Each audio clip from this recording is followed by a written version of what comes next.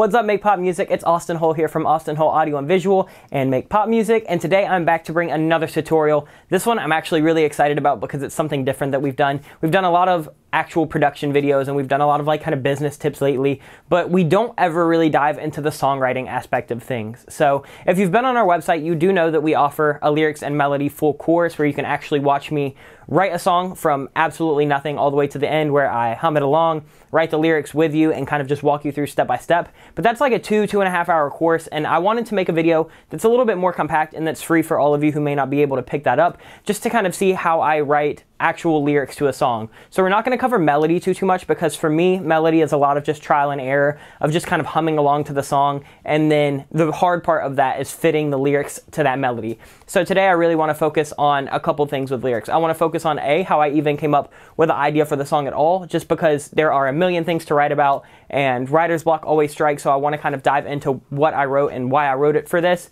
Then I want to kind of talk about just a little bit how I hummed the melody and kind of came up with what I wanted to do and kind of talk about how I started counting syllables, seeing if any kind of phrases came to mind other than, you know, just the theme of the actual song. And then we'll actually dive into how I wrote the lyrics and then we'll break it down line by line by what's the rhyme scheme, what are we doing syllabically throughout the song, how is the flow, are we using any kind of, uh, you know, literary analysis, like are we doing any metaphors, are we doing any repetition, anything like that. So I really want to dive into this head first and show you guys everything and kind of really rip the lyrics of the song open so you can see exactly what I wrote, why I wrote it, what it's doing to the listener, what it's doing for the song, how it's setting the tempo and the pace, and kind of dive into everything that you can put in lyrics instead of basically just having a poem that you put a melody on. So you want all of these things to kind of make a cohesive and strong lyric, and what we call the lyrics and the melody is top line. So if you hear me referring to it as a top line in this video, I'm just talking about the lyrics and the melody of the song that were laid on the instrumentation or the beat or the composition or whatever you want to call the actual musical aspect of it. But without further ado, we've got a lot to talk about, so let's go ahead and actually hop into the session.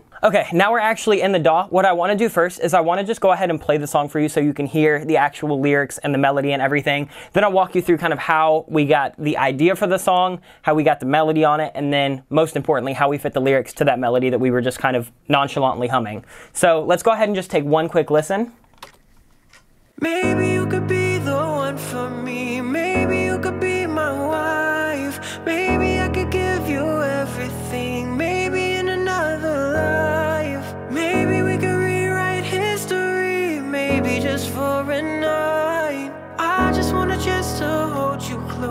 Make all the wrong things right. But I have to tell you, I've been catching myself falling deeper in your ocean calling. Trying to stay afloat and hoping you won't let me drown. Save me, I've been catching myself praying. I can't stand the thought of waiting. I've been going crazy, picturing how he holds you. He holds you.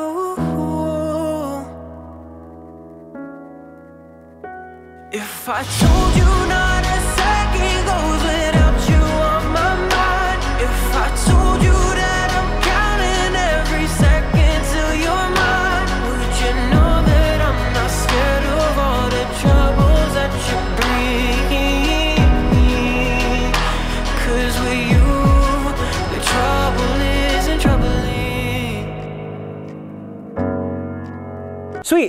So that's what we're going to talk about today. Let's kind of walk through how I even came up with the concept to the song. So this song actually started with a simple concept first, and then I kind of got just a quick little one-liner from an idea, and then I actually built the instrumental, and then put the melody, and then put the lyrics. So we're kind of going to go in that order. So let's talk about what sparked the song. I was watching How I Met Your Mother one night, if those of you that don't know, it is a TV show. It's incredible. Two characters in the show that are kind of having a will they or won't they. There is Robin Scherbatsky and Barney Stinson.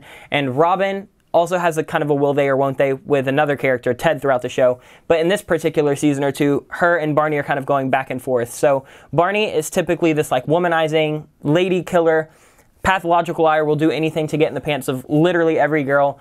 And so it's kind of weird to see him start catching actual feelings for another character of the show, right? And Robin, who normally loves attention and affection and loves having men chase her, starts kind of having a breakdown saying that she doesn't think that she's worth any trouble. She thinks that she's just trouble for Barney. Uh, she doesn't think that it's the right move for Barney to give up his, you know, kind of womanizing lifestyle and settle down with her. And um, there's just this one little scene that has like this one quote that when we were watching it kind of spoke out to me. And I'll just, I'll play it real quick. It's just like an 11 second clip. Maybe I don't want to be saved the trouble. Maybe I want the trouble. I haven't wanted the trouble in a long time, but with you, the trouble doesn't seem so troubling. So in that scene, you hear Barney kind of say, with you, the trouble's not so bad you know, the trouble's not so troubling. So I literally took out my phone as I was watching that TV show and wrote that little one liner in my phone and said, with you, the trouble isn't troubling. So then the next day when I got to my desk, I wanted to kind of write an instrumental around that. So I wrote that kind of piano ballad with the orchestra. It's really, really somber. It's really sad. It's kind of slow. It's kind of got like James Arthur kind of vibes. And I was really, really feeling that for the mood of the song because I wanted the whole song to be kind of somber and I knew I wanted it to float around that one liner. So then it was just as simple as kind of putting a melody to it. So let me go ahead and mute the vocals here. So what I do when I'm writing the melody, it's pretty simple. It's really just trial and error, is I'll just kind of loop the instrumental.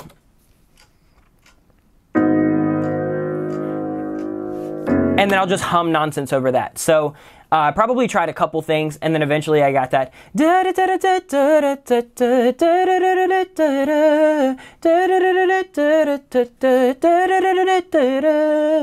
And so I finally got that after a little while. And what I like to do is just really like mumble the actual melody. And sometimes you'll get phrases or end rhymes or just kind of like syllabic content that you're going to want to include. So for this, I knew that I loved the actual melody and structure. So I wanted to count out all of the syllables and you can see them here on the actual lyrics. So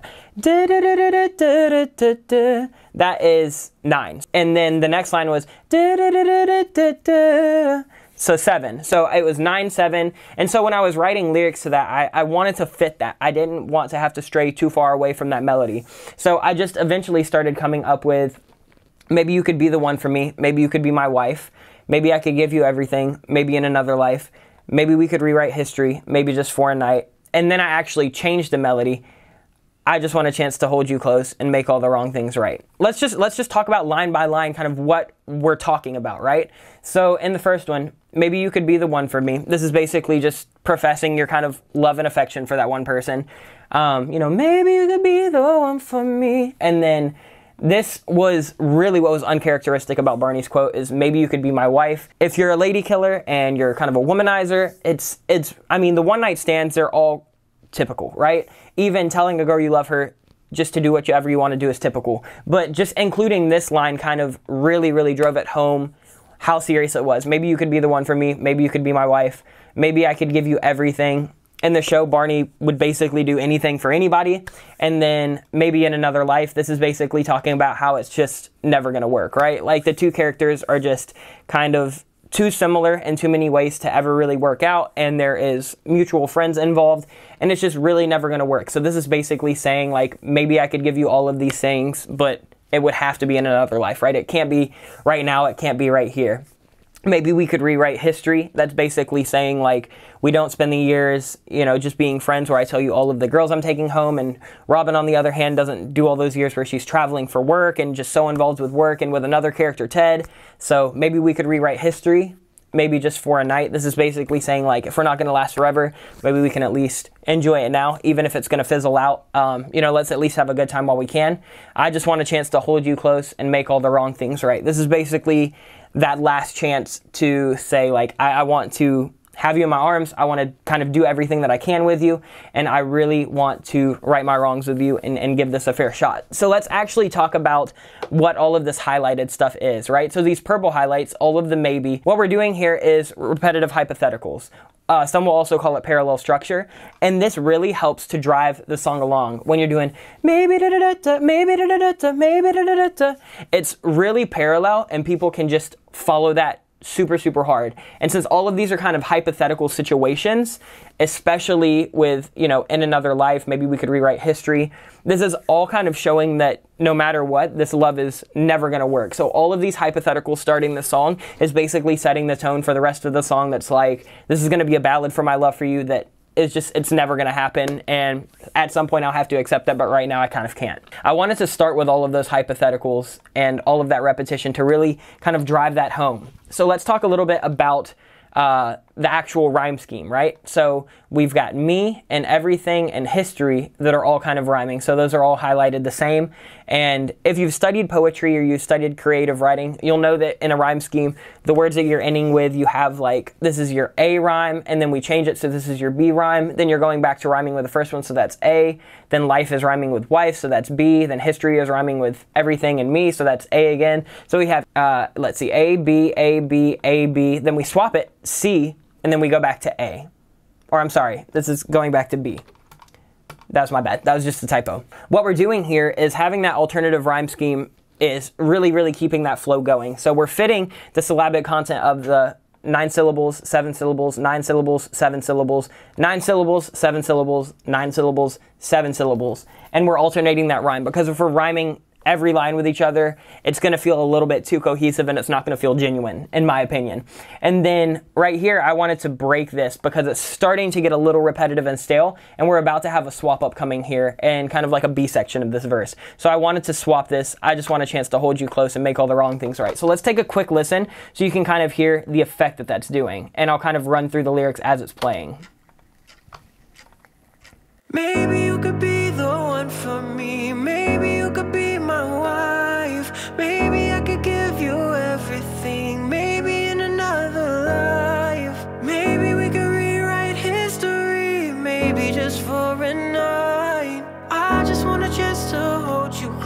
Make all the wrong things right. But I have to tell you. So that I just want a chance to hold you close. That kind of breaks that up and the, then when the next section comes in, it doesn't feel so abrupt like, oh shit, we just swapped everything. We swapped the melody, we swapped the rhyme scheme, we stopped the, you know, there's no more parallel structure. So that was just a really, really quick way to kind of break that up just by swapping that one line out instead of doing you know, the A rhyme where it's still the maybes. That's kind of how we wrote the first section of the verse. Every line is kind of giving that hypothetical, maybe I could do this for you, maybe you could do this, maybe we could be this. And then this next section, this is like the B part of the verse. This is basically kind of like your your actual profession. But I have to tell you, I've been catching myself falling, deeper in your ocean calling, trying to stay afloat and hoping you won't let me drown. Save me. I've been catching myself praying. I can't stand the thought of waiting. I've been going crazy picturing how he holds you. Let's just go ahead and break this down, right? So you can see the rhyme scheme here. We kind of break it up quite a bit. Now we've got D, E, E, F, and F has some internal rhymes that we'll talk about. Then we've got G that rhymes with nothing. Then we've got Save Me. Then we've got Myself, which is parallel to this one. Praying rhyming with Save Me. Waiting rhyming with both of these. And Crazy rhyming with all of that. So let's go ahead and break it down line by line, kind of like we did with the first part, right? I wanted this to kind of stand alone right here because this is acting as a transition phrase. So you'll hear it right here. right, but I have to tell you. So that kind of leads that next part in because we've kept the melody so parallel. The da da da da da da da da was so parallel the whole time that as soon as that, but I have to tell you, that shows you that we're getting to a new part of the song. So that allowed instrumentation to come in. The transition was super easy. This is kind of how you write for transitions instead of relying on production for transitions. So swapping the words, the phrases, the melodies, the structure and kind of leading that in will show people, okay, we've got a whole new section coming because we're going from this that feels so tight to this where it feels quite different. So people know that we're in a new part of the song and we're going to be saying something a little bit different. So this kind of rhyme scheme and structure we have here is a little different because it's, it's kind of internal. So let's just go line by line and kind of talk about it. I'm going to play it and kind of highlight as we're going. Make all the wrong things right, but I have to tell you, I've been catching myself falling deeper in your ocean, calling, trying to stay afloat and hoping you won't let me drown. Save me, I've been catching myself praying the thought of waiting I've been going crazy picturing how he holds you So let's talk about that. What I wanted to do for this is I had the melody in my head and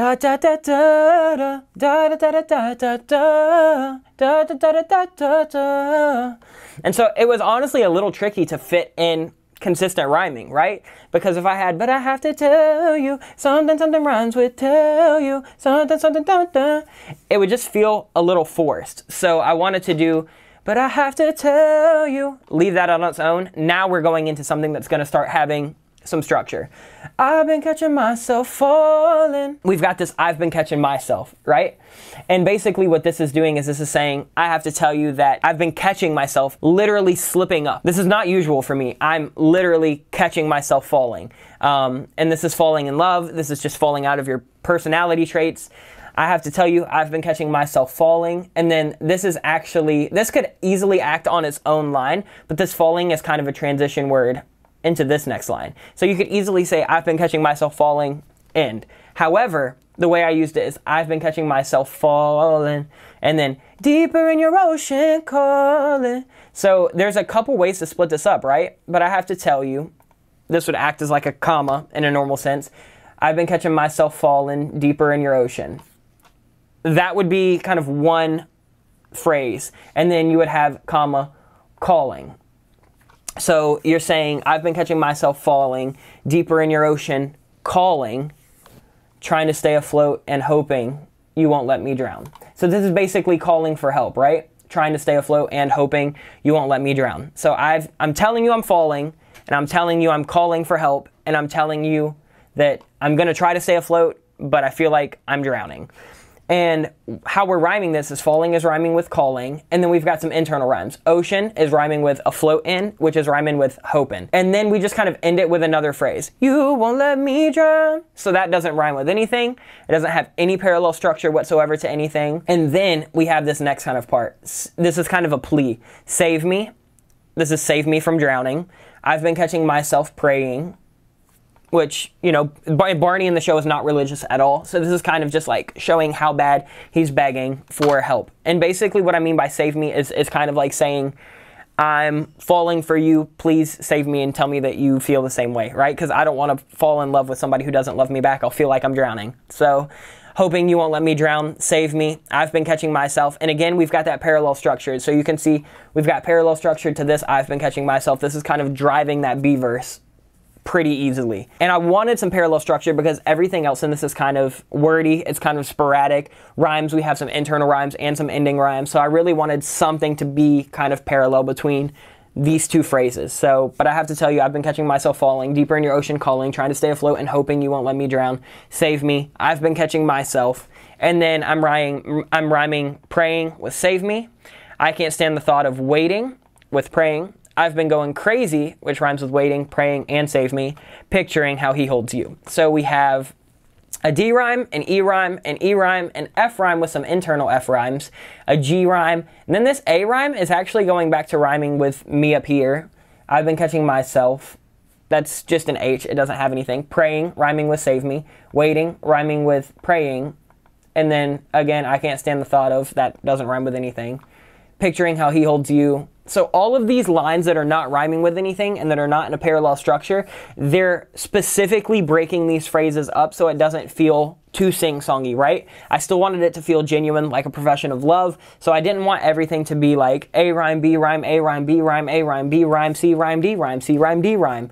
I didn't want that uh, because syllabically we've got some pretty tight syllable structure going on here. Six syllables, eight syllables, eight syllables, eight syllables, five syllables, uh, then we've got two, six, two, six, two, six, seven.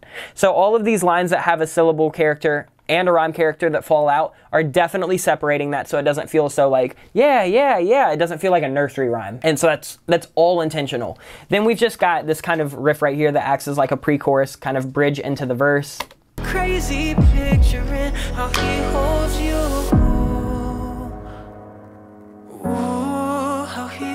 you. And that's really just driving in how hard the thought of him picturing her with another guy is. So it's just drawing emphasis. So we, will call that emphatical repetition, right? So he's just emphasizing how hard that is. And then let's actually move into the hook, right? If I told you not a second goes by without you on my mind, if I told you not, or if I told you I've been counting every second till you're mine. So we've got these if I told yous that are repeating here. These are repetitive emphasis. If I told you this, if I told you this, and then we have a hypothetical question, would you know that I'm not scared of all the trouble that you bring? Because with you, the trouble isn't troubling. So let's go ahead and just take a quick listen and follow along. If I told you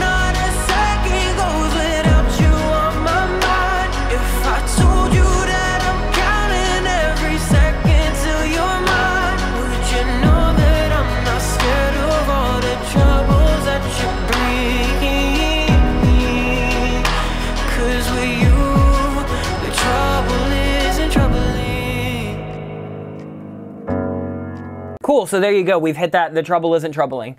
Um, shout out How I Met Your Mother.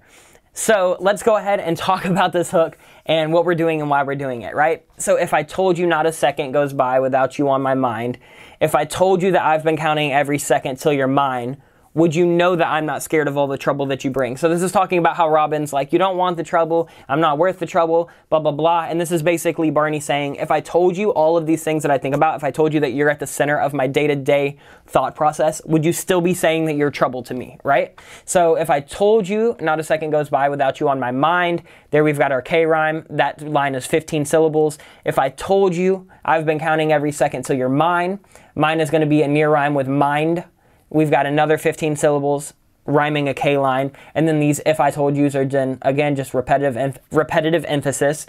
Would you know that I'm not scared of all the trouble that you bring? That's breaking it up. We've introduced a new rhyme, and now we have a full question that is on its own. That is literally there's no other line that you could carry that to.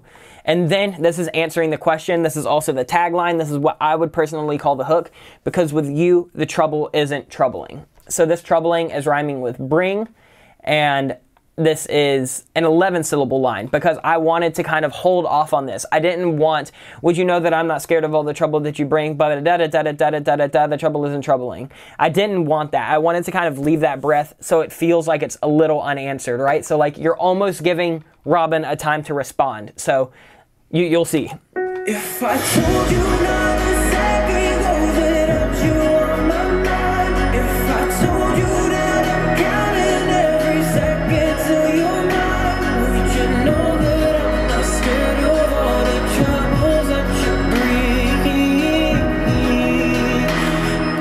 So that is like really, really, really emphasizing that.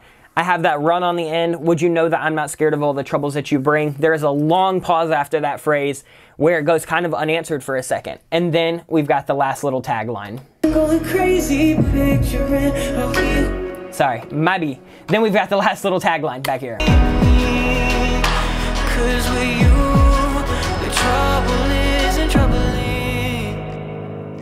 So the way that hook wraps up organically is really nice. It feels like the end of the hook because I asked this hypothetical question, which is the question to pretty much the entire first and second kind of verse that we have up here. This is a really good example of how you can ask hypothetical questions, give the audience kind of a second to ponder that by drawing the next line out and then answering that hypothetical question to end that verse or that hook or that pre-chorus or whatever to drive to the next part. So then for the second verse, we would kind of just do the same thing. I would probably structure it very, very similarly. Um, I kind of just wrote this in a couple hours, so I, I didn't even put a second verse to it that day.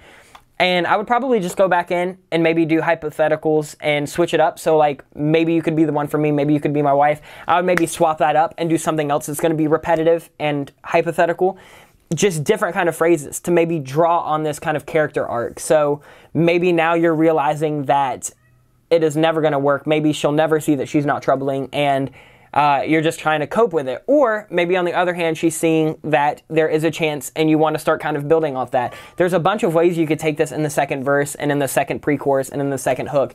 But for this, I really hope that you've kind of been able to just kind of follow along and see all of the different literary tools that we've kind of used that you, you kind of learn in creative writing, the hypothetical questions. We've got some metaphors in here, deeper in your ocean, trying to stay afloat and hoping. Like these are all kind of metaphors for drowning or falling in love or just feeling like the weight of the world is crushing down on you and there's really nothing you can do to help you. And and that's kind of what it feels like to be in love with somebody who is not reciprocating that, right? Like there's no hope for love that is only one way. And so I really wanted to kind of draw on that with some of those metaphors.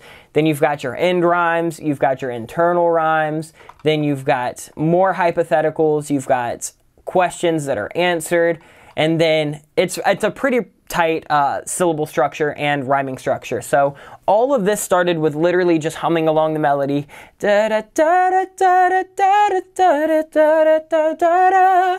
And then you literally just have to fit that in there. So there are probably a billion different lyrics that I could have wrote instead of these, but these are kind of the lyrics that came out.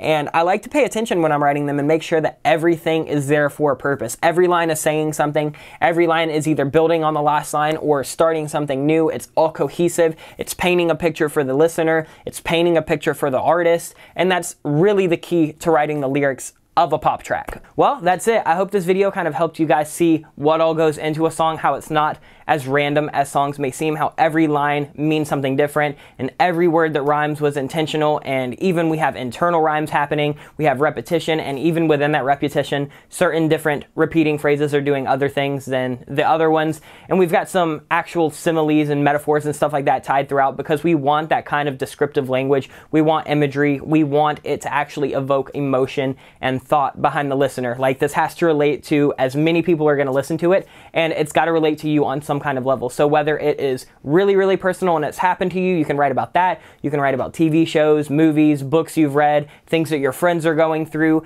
Kind of practice a little bit of empathy and sympathy and try to write about other people's experiences because you'll have so much more to actually pick and choose from rather than just actually writing about your own experiences. So try to pay a little bit of attention in your day to day life. We do have videos on how to beat writer's block where I kind of talk about that stuff a little bit more in depth.